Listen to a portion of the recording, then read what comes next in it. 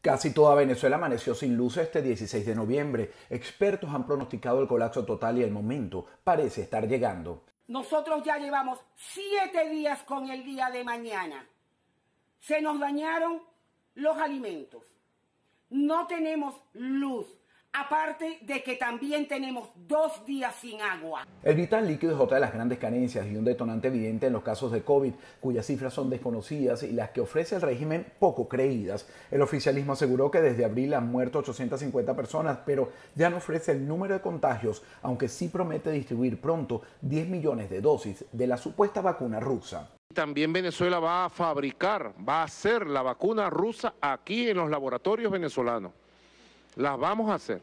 En Venezuela arrancó otra semana de flexibilización de la cuarentena por la pandemia del coronavirus. Sin embargo, pocos pueden salir a las calles ya que las fuertes lluvias han dejado grandes inundaciones y pérdidas de los pocos sembradíos de productores independientes. El presidente encargado de Venezuela, Juan Guaidó, vía Twitter, expresó su solidaridad con toda la gente afectada por las lluvias y en especial con nuestros productores de plátano en Zulia que luchan por salvar su cosecha y proteger su familia, escribió Guaidó. Ya algunos miembros del personal médico comenzaron a recibir los prometidos 100 dólares del bono que había ofrecido desde mediados de año Guaidó. Sabemos que 100 dólares, pues no, relativamente en comparación con 600 dólares no es nada, pero de verdad que oye, mucha mucho ayuda le hace a uno, pues este, en lo personal a nosotros nos ayudó full para, para nuestro emprendimiento que tenemos en, en Katia. La crisis ha obligado a muchos de estos trabajadores a dedicarse a otros emprendimientos con esas divisas enviadas de fondos congelados al régimen en el exterior, manejados por el equipo de Juan Guaidó.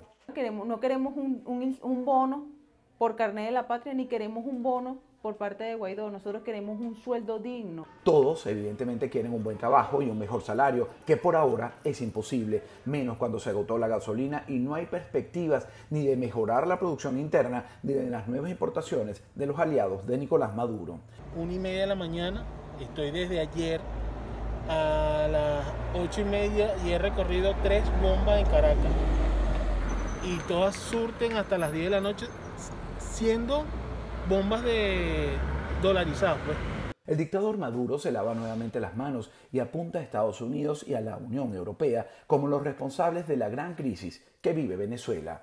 Hoy sacaron la extensión de sanciones criminales contra el país. A la cola de Donald Trump se quedó la Unión Europea. Vergonzosa. Alejandro Marcano Santelli, Radio y Televisión Martí.